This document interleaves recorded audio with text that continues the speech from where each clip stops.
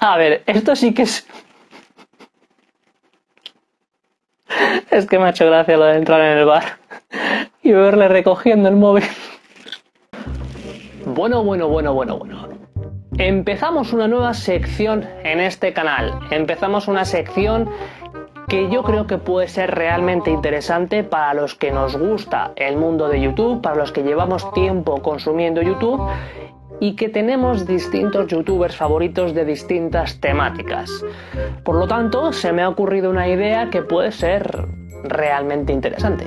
¿Y qué vamos a hacer? En esta sección del canal lo que vamos a tratar de analizar son distintos canales de otros youtubers desde la perspectiva psicológica, es decir, el tipo de contenido que transmiten, cómo lo transmiten, cómo comunican, cómo transmiten esa emocionalidad y ver de alguna manera si hay algunos canales que son mejor que otros en ese sentido para ver cómo lo hacen y si de esta forma les pudiéramos sugerir algún tipo de aportación. Ojo, no estoy diciendo que esos canales sean malos en lo que hacen ni buenos, simplemente que hay algunas personas que transmiten de una forma que eso hace que nos llegue su mensaje, su discurso, su contenido de una manera mucho más favorable que Y creo que en este sentido todos podemos salir ganando y sobre todo que nos lo vamos a pasar muy bien. Pero al ser una nueva sección, lo que no quiero es que esta sección la haga solo yo. Quiero que tú también puedas participar en la sección. ¿Cómo participo? Muy sencillo. Lo que vamos a hacer en esta sección, o mejor dicho, lo que yo voy a hacer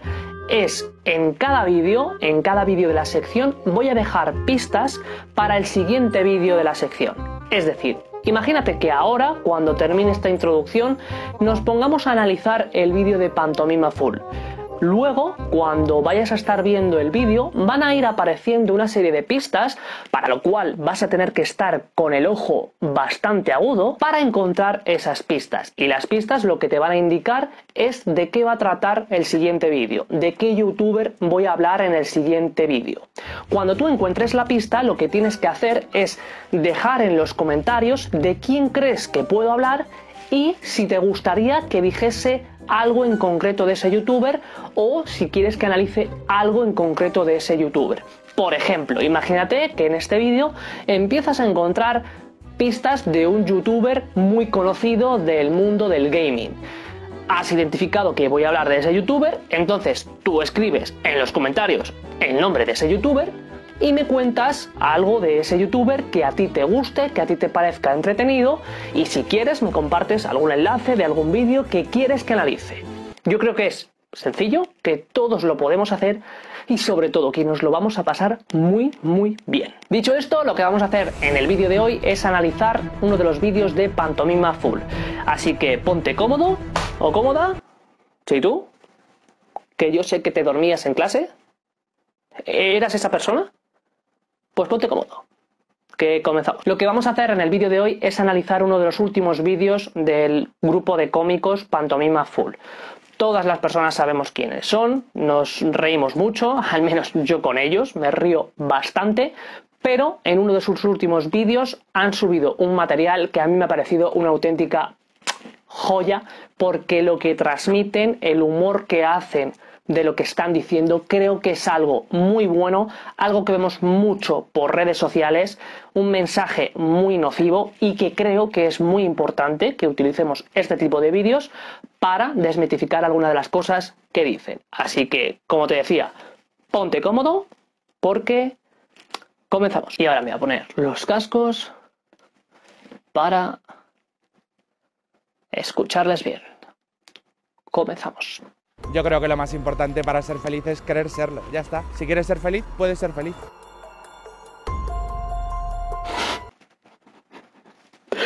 Vale, si quieres puedes, si quieres ser feliz puedes serlo, es lo único que hace falta. Es un mensaje que abunda en redes sociales, hay un montón de cuentas, sobre todo por Instagram, yo que tengo la cuenta de Instagram y pues le doy bastante caña, que no paro de ver este tipo de mensajes. Y es como, por Dios, si parece que nos están repitiendo, están clonándose a sí mismos para transmitir el mismo tipo de mensaje. Cosas a tener en cuenta respecto a esta frase. En primer lugar, que hay veces que por mucho que quieras, voy a quitarme el casco mejor, hay veces que por mucho que quieras, por mucho que te esfuerces, no vas a lograr el contenido, no vas a lograr el objetivo que tú te has planteado. Y esto no es nada malo, al contrario, es muy bueno, porque hay veces, como esas que te he planteado, en las que te esfuerces a muerte, en las que te esfuerces todo lo que quieres o todo lo que puedas y no logres el objetivo, que lo que vas a poder aprender a manejar es la frustración, porque eso también es importante en la vida, también es importante reconocer esos límites, también es importante aprender a tolerar ese tipo de emociones que se consiguen cuando o que se generan, mejor dicho, cuando no conseguimos algo. Y eso es fundamental. Pero también un punto más, si quieres puedes, si quieres ser feliz puedes serlo. Pues no, porque muchas veces, sobre todo cuando hay personas que tienen algún tipo de dificultad emocional, cuando tienen problemas de depresión, ansiedad, problemas familiares, problemas en la pareja, que se sienten muy mal y por mucho que quieran no se pueden sentir bien. ¿Por qué? Porque hay un estado emocional alterado, hay un estado de salud que está alterado y que es preciso aprender a trabajarlo. Es preciso poder dedicarse un tiempo a uno mismo, poder iniciar incluso una terapia psicológica que nos ayude a precisamente eso, a ser feliz, pero no por mucho creer lo vas a conseguir. Hay veces que con eso no basta. Me despierto cada mañana y me digo, cómete el día, y es lo que intento hacer.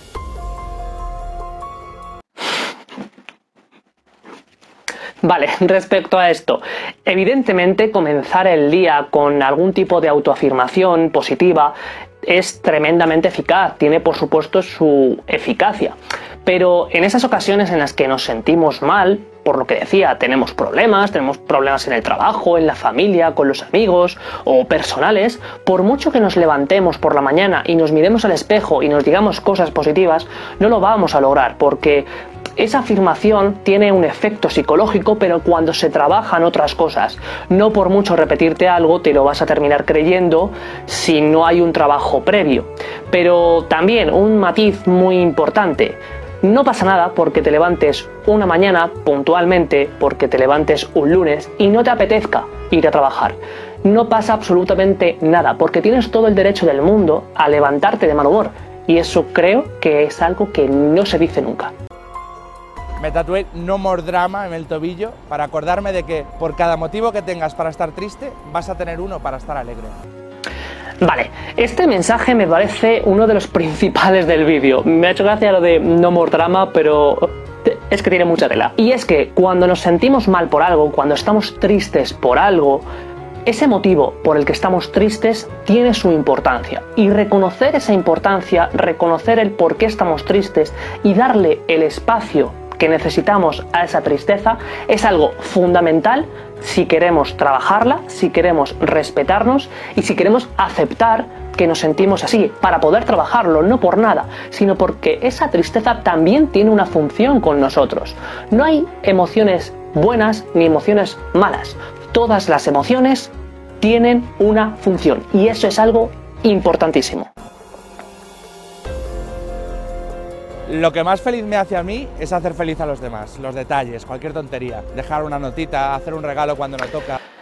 A ver, esto tiene sus matices, porque sí que es verdad que hacer cosas por los demás, esforzarnos porque los demás estén bien, es algo muy bueno. Si a una persona le nace, le surge tener detalles con sus familiares, con su pareja o con sus amigos, y eso le hace sentirse bien, pues oye, eso es algo tremendamente positivo.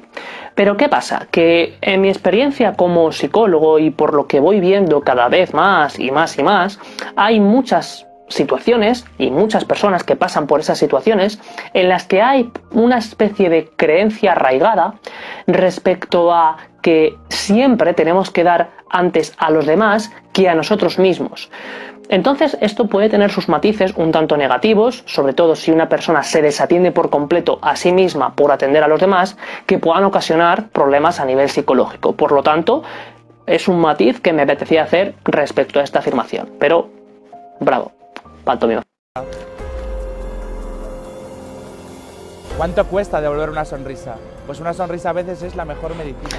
Vale, y hay veces que por mucho que una sonrisa tenga efectos a nivel psicológico muy positivos. Si no quieres sonreír, tienes todo el derecho del mundo a no sonreír. Pero estoy hablando de ocasiones puntuales. Evidentemente, si una persona está pasando por una situación emocional muy difícil y lleva mucho tiempo así, sintiéndose triste y sin ganas de sonreír, lo más adecuado que puede hacer es buscar ayuda psicológica. El otro día entré a un bar y ponía, aquí no hay wifi, hábleme entre ustedes. Y a mí esas cosas me encantan. Deja el móvil y vive.